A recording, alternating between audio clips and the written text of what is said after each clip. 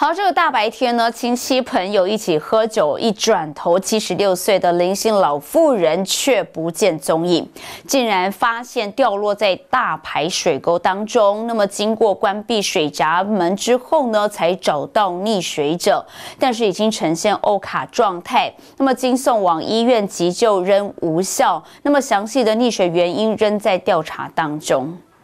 报案者与七十六岁林姓妇人上午在家中饮酒，到了中午十二点多送林姓妇人出门，他转头回家的时候，却听见有人在呼救的声音，上前查看，见林姓妇人跌入排水沟内，现场情况危急。用完衣物本开，声音怎么说？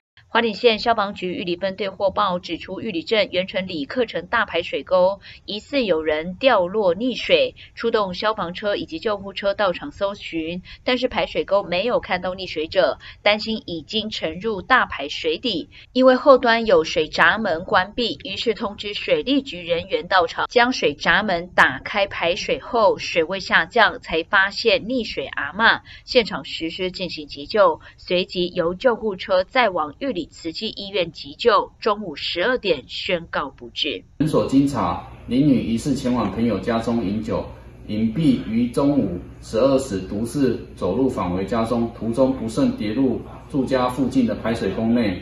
本案将全力协助家属厘清相关案情，由台湾花莲地方检察署。依法相验。玉里分局表示，经侦查队勘查现场，死者脸上、下巴、左手都有擦伤，初步排除遭其他外力因素所致。警方将全力协助家属厘清相关案情，全案报请检方相验。记者高双双玉卷采访报道。